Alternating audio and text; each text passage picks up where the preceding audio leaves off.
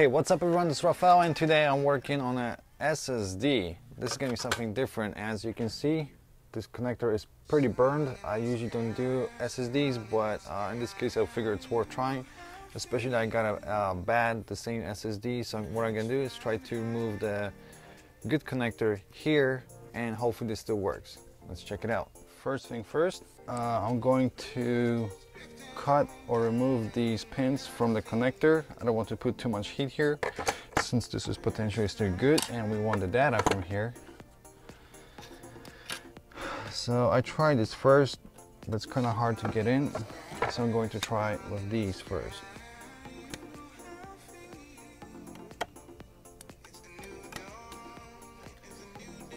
This might not look gentle, but I am gentle not to uh, rip the pads. I'm just trying to uh, pull the connector from here, not from the pad.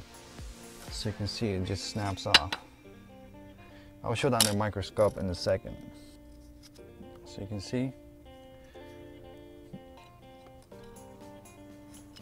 This one's cleaned up, now I'll do this one and then I can just pull, should be able to pull out this plastic.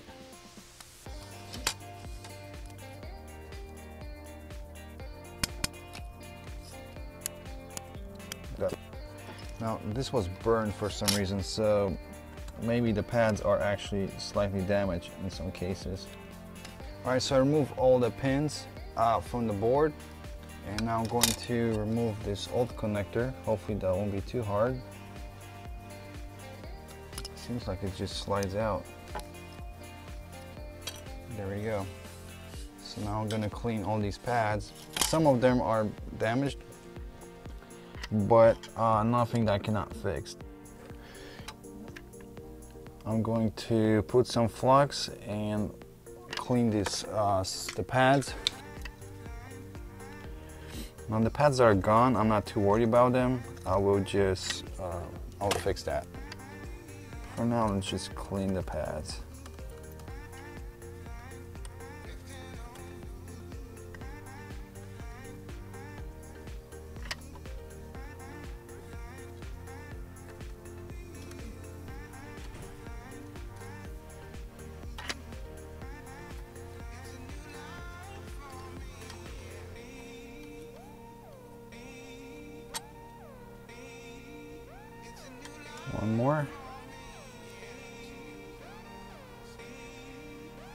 Looks like these are connected together, so that might be ground or something.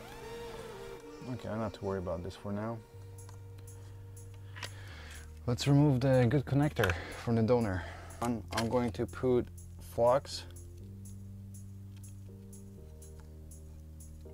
on the connector and then I'm going to use low temp uh, soldering paste to make the solder on the pads uh, easier to remove because I don't want to overheat the plastic and you know damage the plastic.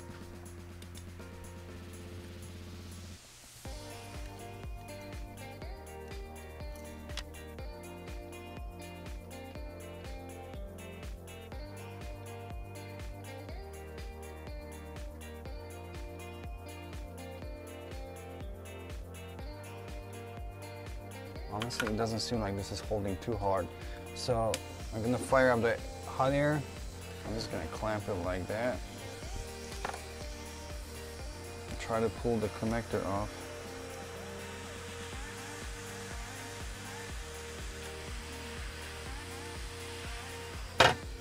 Got it.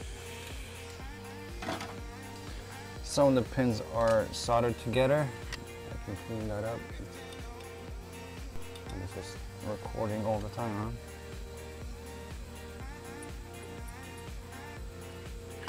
Some flux.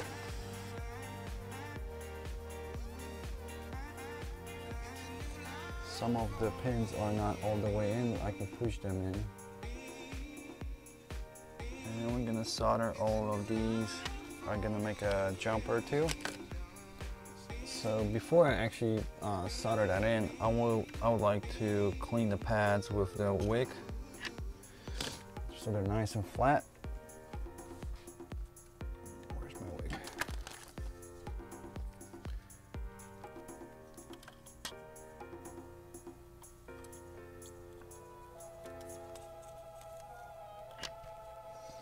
Damn.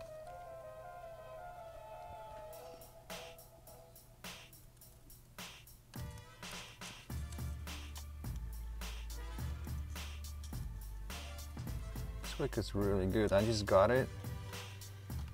And I really like it. It's very thin and it grabs solder very well. Oh man, you didn't see that. But uh, it's MG Chemicals. Also use their solder lead free.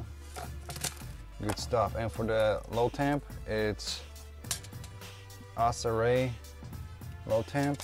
Or I'll also use, where is this? Mechanic from microsolderingsupply.com.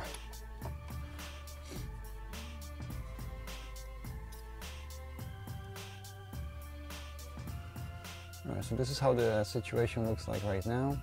Um, I will have to make a jumper here, potentially here, but that's not a big problem.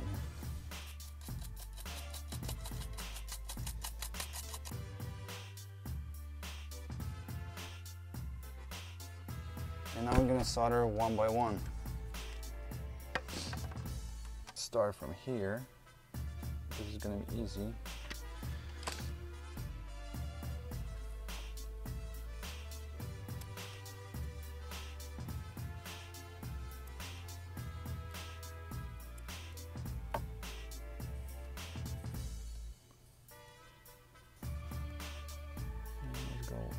around these.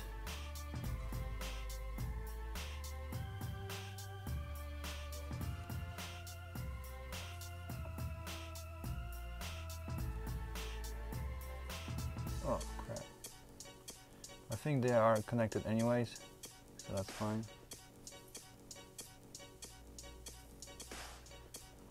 Just use up the, oh there we go.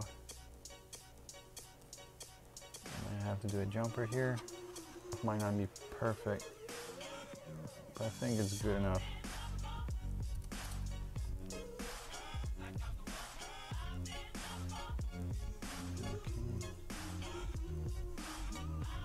Now I need to jump this one, but they all three, the all three of them are connected,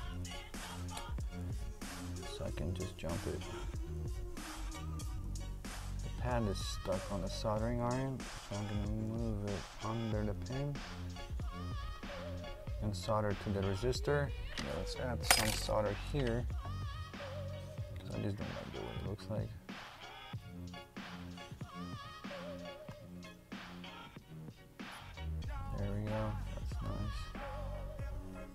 That's not nice.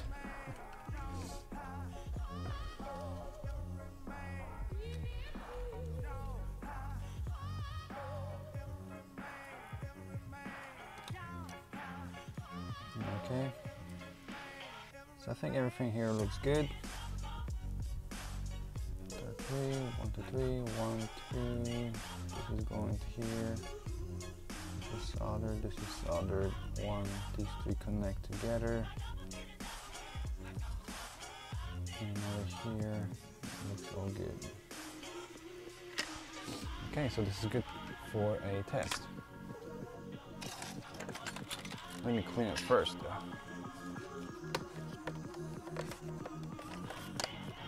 And do some cleaning.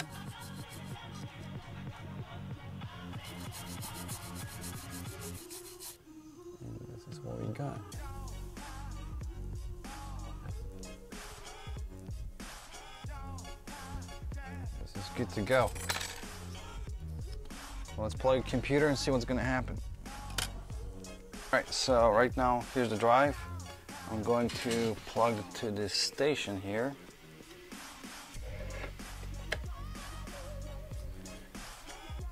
Let's see if Mac is going to recognize the drive. And we already see this here.